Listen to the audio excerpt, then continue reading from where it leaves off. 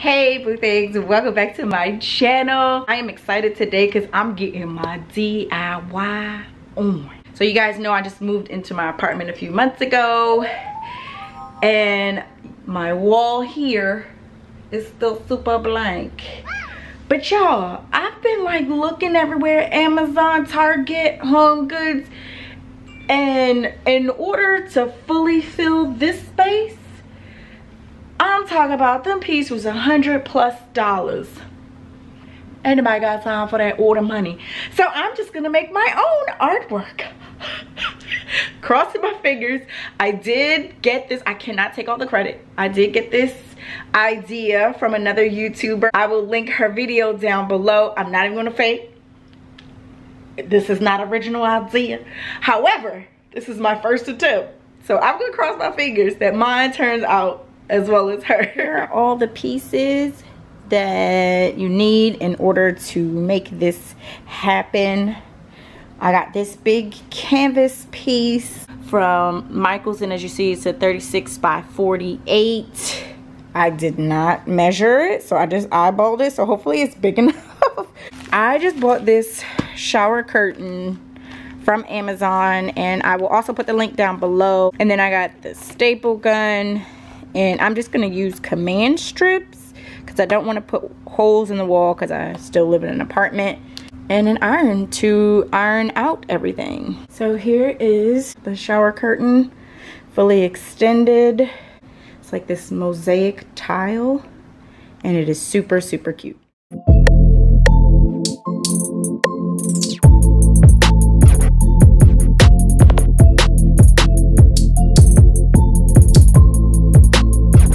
Still kind of looks a little wrinkly, but that's just because it's on the carpet. Then you want to take your canvas and lay it face down. And of course, notice how I also have the shower curtain face down as well. So I did forget that you do need scissors because you're definitely gonna have a lot of excess. Doo -doo -doo but make sure you don't take off too much, okay? You can just cut it later, but you don't want to take off too much right away. So I only just cut a little bit. Yay! Just do a few staples. I wouldn't do a whole bunch. Make sure you pull it Just a few staples.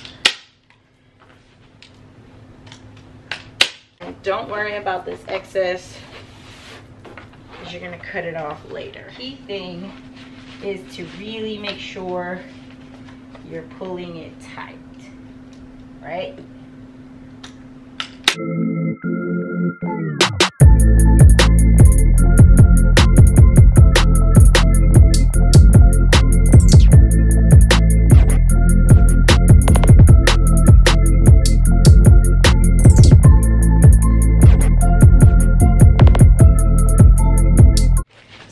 Definitely important that as you're stapling, you're pulling. So remember I said you're just going to do a few staples in the beginning, but when you go back, you want to make sure that you're pulling the fabric taut.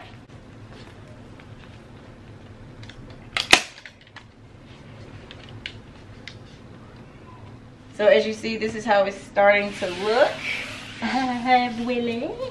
Um, so yeah, so then you just do the same thing. You're just gonna staple this here and then I will give you a up close of how you staple the corners. On this side, I actually did cut a little bit too much too soon, but it's still the same concept. You're gonna cut the corners like you would, or you're gonna staple the corners and wrap the corners like you would a Christmas gift. And then you're just gonna staple it down again, don't forget that when you staple, you the key is to pull the fabric super taut. And if there are any areas that you feel needs to be stapled down more, absolutely feel free to go crazy. Let's go crazy. As you see, I have trimmed all of the excess off. And voila! Look guys! I have my artwork. I'm so proud of myself. And now let's uh let's put it up. Ta-da! Look! Oh my goodness. Y'all, it looks like a legitimate piece of artwork. I had to have my friend come over and help me hang it because it was just way too big. But look, it is gorgeous. I love it. Now, of course, it now focuses on all this empty spot. So I'm definitely gonna fill this with some decorative pieces. And I still have to get like a plant or something like that for here. But guys, my living room is really coming along. I showed my Instagram fam, but I didn't show my YouTube fam. I bought this little Buddha and this plant. Yes, child, it is fake because mama and real plants don't mix. I still have to print out my first Mother's Day picture. I'm so ghetto. Yes. And then I'm gonna get some artwork here. But so far, it's coming along. I'm so proud. I am so proud of myself. I get my decorating on. Y'all, this was very simple. It was a little time consuming just because I had to make sure that everything was aligned and straightened, but it was super easy. Like on a scale of one to 10, it was like a two. And all the reason why it's not a one is because it took a little bit of time, but I'm so proud of myself.